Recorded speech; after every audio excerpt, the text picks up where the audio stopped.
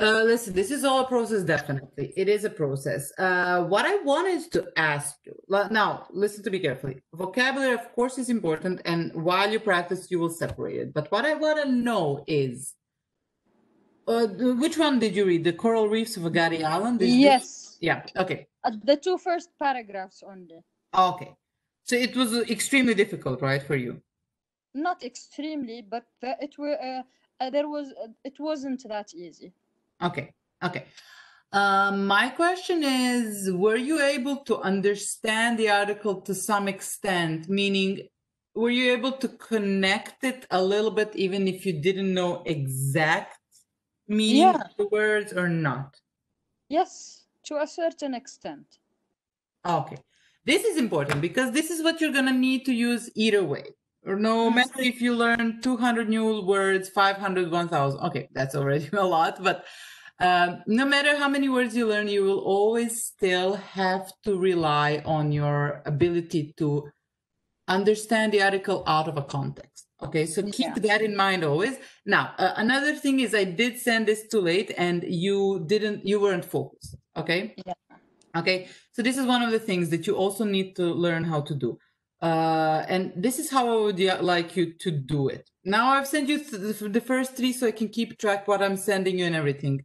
But then again, uh, regardless, this is some of the IELTS text. So there's no reason why they shouldn't give you something in this, uh, uh, something like this. But what I would like you to do in the future when you read it is once, well, of course, once you are more focused and you have more time, read it once without new vocabulary. So read it just to read it and to see if you get the gist of it. The gist meaning the general idea, okay?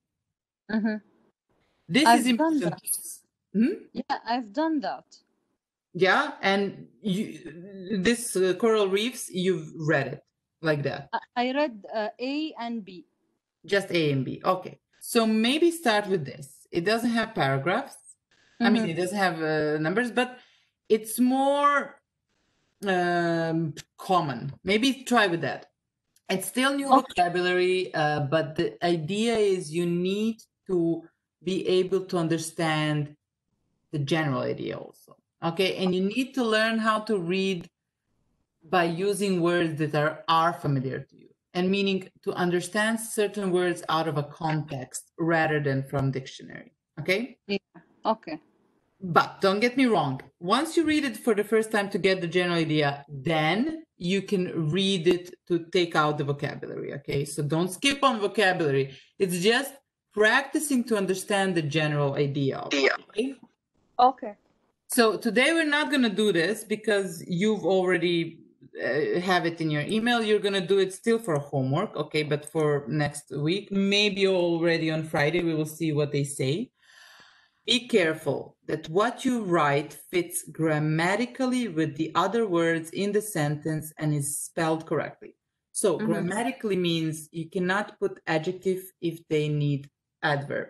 You cannot put verb if they need a noun. So, you need to clarify which is which and to listen carefully. Now, before we listen, I'm going to give you time to read because we're practicing. Okay if you don't have to, try to avoid asking me anything. Try to now practice this out of a context to connect with given words what they're talking about.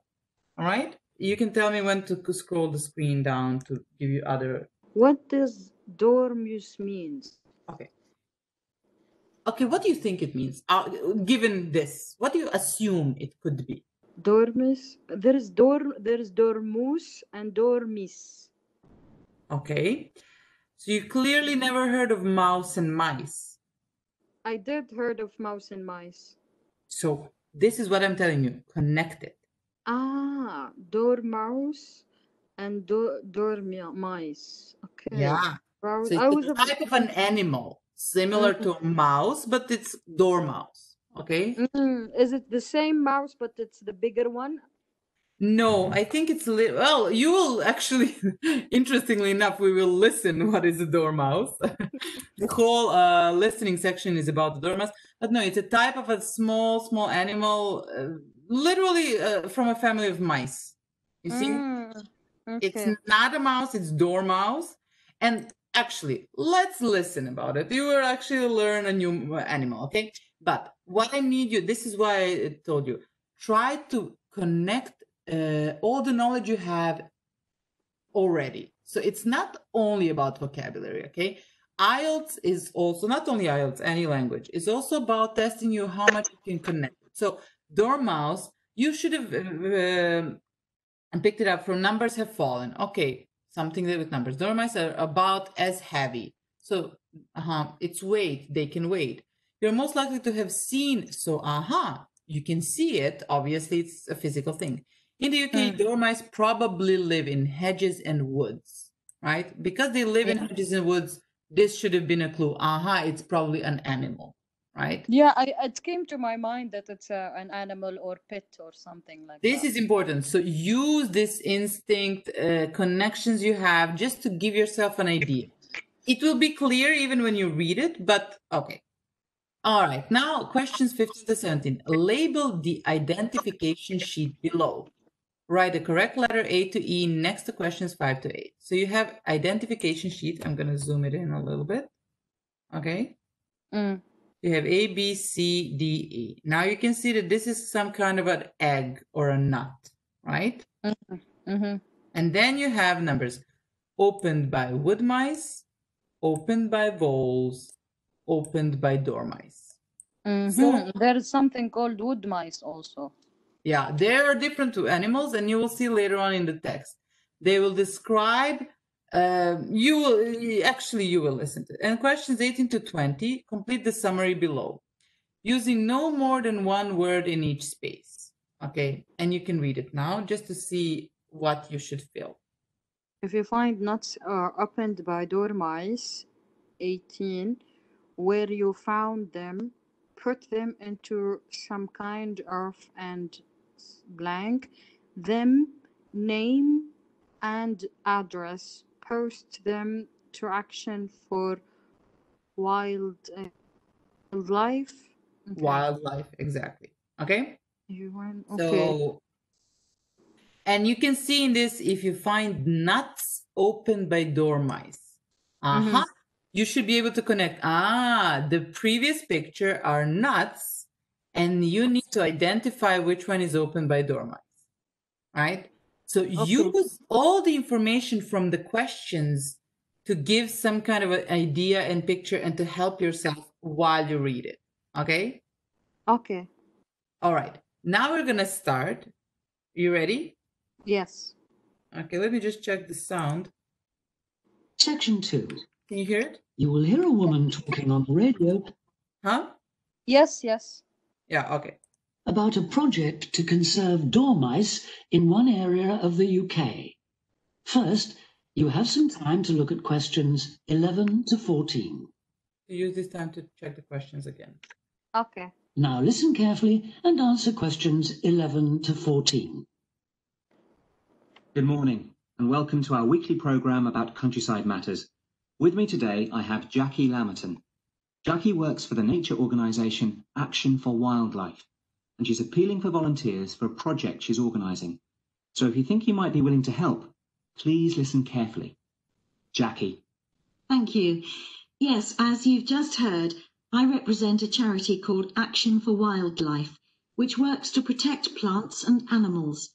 And I'm here today to talk about a project to save a type of mouse known as a dormouse. We can still find the dormouse in this area, but in the last few decades, the number of dormice has seriously declined, not just in this country, but across the world. There are several reasons for this loss of habitat, climate change, competition for food. And this area of the UK is now regarded as one of the last strongholds. So naturally, we want to help the creature to survive here as much as we can. The aim of the first stage of our project is simply to identify specific locations where dormice are still to be found and estimate the number we have here. So I'll just tell you a little bit about the creature in case you don't already know. The dormouse is a very attractive, very small mammal. It only weighs about the same as a couple of pound coins. It's bright golden in colour and it has a thick furry tail and big black eyes. Now, you've probably all seen a picture of a dormouse, but you're very unlikely to have seen a real one because they're strictly nocturnal. Also, they hibernate from October to April, so it's not around at all for about half the year. So, where is the dormouse to be found? Well, dormice need to be near a variety of trees and plants so they can be sure of a continuous supply of food throughout the spring and summer. They feed on flowers, pollen, fruit, insects, ripe nuts, things that are available in turn as the summer progresses.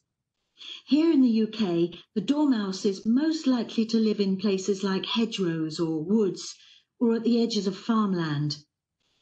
So how do we find out exactly where dormice are?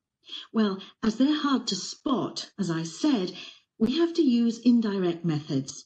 Instead of trying to see dormice themselves, we look for evidence of dormouse activity. Dormice eat hazelnuts, so we'll be looking for the shells that dormice have opened to get at the nut inside. A lot of wildlife species eat hazelnuts. It's not just dormice but it's usually possible to tell which particular animal has opened a nut by looking at the marks on the shells.